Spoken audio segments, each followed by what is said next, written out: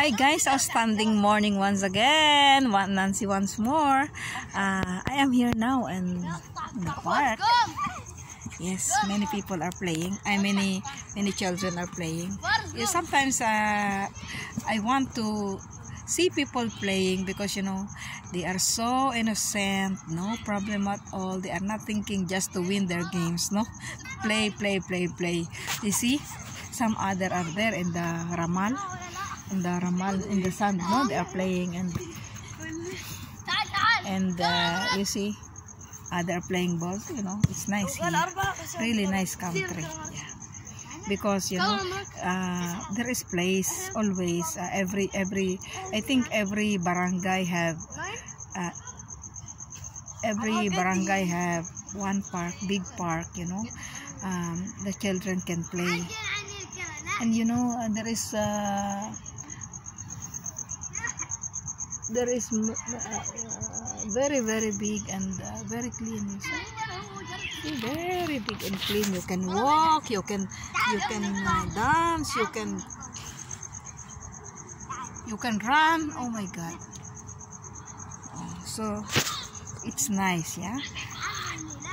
Uh, fresh air uh, COVID free because you know nobody not no no too much people.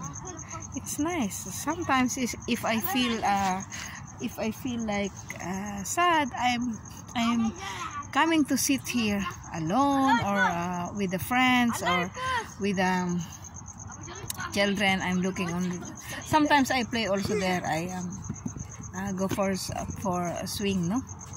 For the swing. Like doyan in Philippines okay uh, uh, before I discuss about the detox no guys you know I always sharing uh, now the about the product because I used to uh, I, I used to do this business and and uh, I used to sell the product to share because you know uh, it always on my mind how I will help people uh, to to prevent their health Of course, ano ba naman ang pakialam ko? Eh, ako naman, na uh, minsan nagkakasakit din, di ba?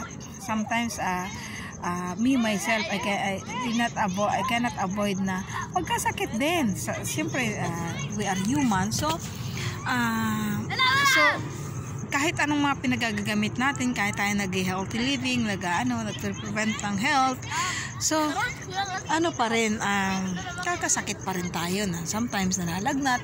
Siyempre, that time malamig or what. Uh, lalo dito napakalamig at napakainit naman pag tag-init, yes.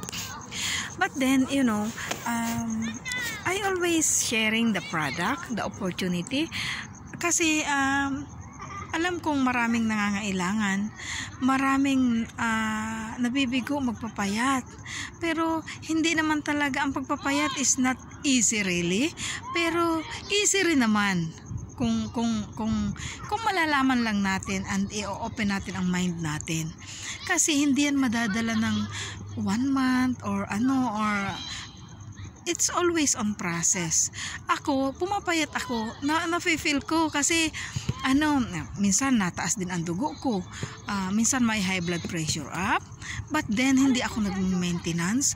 Nag-walk ako and nag, uh, nag-cleanse ako ng colon, nag, uh, nag uh, raw ako ng, ng ano, katulad ngayon, I, I eat uh, like raw food, like uh, vegetable only. Matagal ha. Ginawa ko na lang, I, I, I watch to eat all uh, the vegetable kasi matagal talaga. Ngunguyain mo lalo yung carrots matagal. So uh, ano na lang uh, ang ginagawa libang ko na yung sarili ko nood ako para little little little little eat.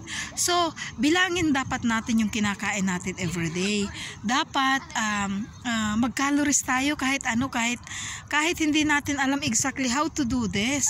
Kasi uh, dapat um, ang calories lang natin pag na-maintain natin yung 1,500 calories maano mo na yan sa una mag ano ka lang mag um, tingnan mo lang yung egg, ilang calorie, yung coffee, yung ano, yung snack mo, ay, nakarami na ako ng kain ng lunch, ah. Marami yung kanin ko, ah, siguro, uh, uh, 600 calories yung nakain ko.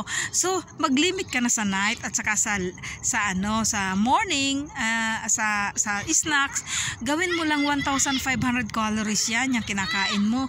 I-ano mo lang yan, pwede naman magpakabusog din. But then, maglinis ka na lang rin ng colon after and then mag, uh, maglinis ka rin ng blood toxins. So, from that, ma matututunan mo, ma, ano, uy, pumapayat ka, ah. uy, hindi ka lang puma, uy, gumanda ka, ah. uy, iba ka na ngayon, ah.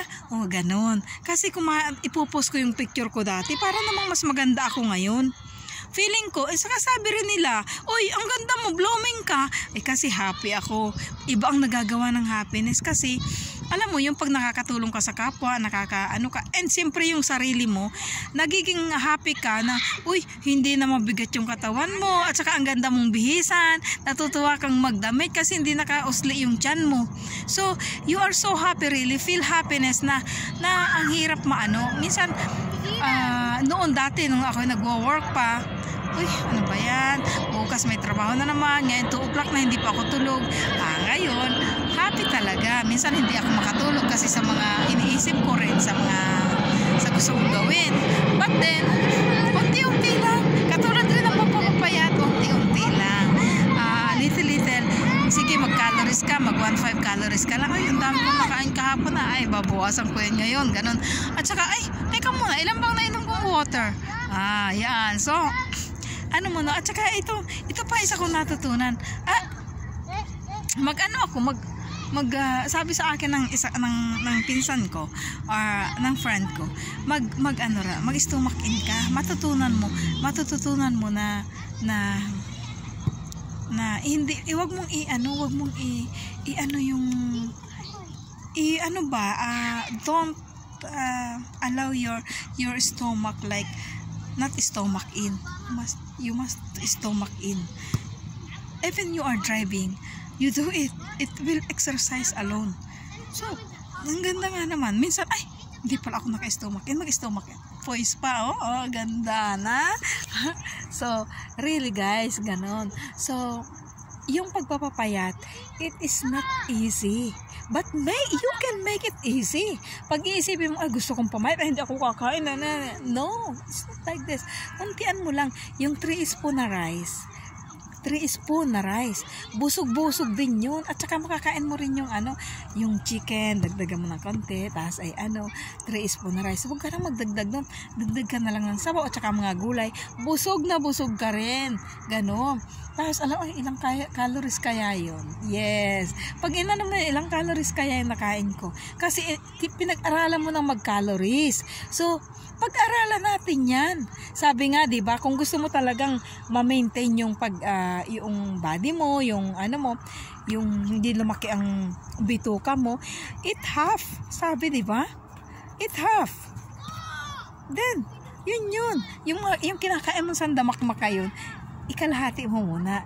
Then, uh, pag nakalahati mo na, wow, na-practice mo ng kalahati, eh, kaunti na lang pala yung anong, pagsanayan lang yan guys. Pag nasanay mong 3 spoon, ay nako, hindi mo na talaga makakain yung 5 spoon.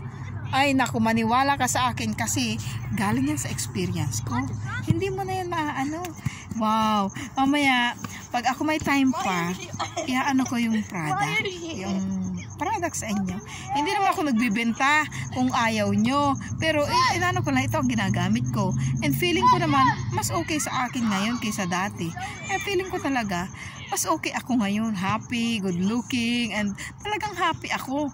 Siyempre, happy ka sa ginagawa mo. Happy ako sa result ng katawan ko. Happy ako sa ano ko. Ah, tingnan mo nga yung, yung, yung, yung buko nasira nung nakaraan. Nung ano, parang nasira.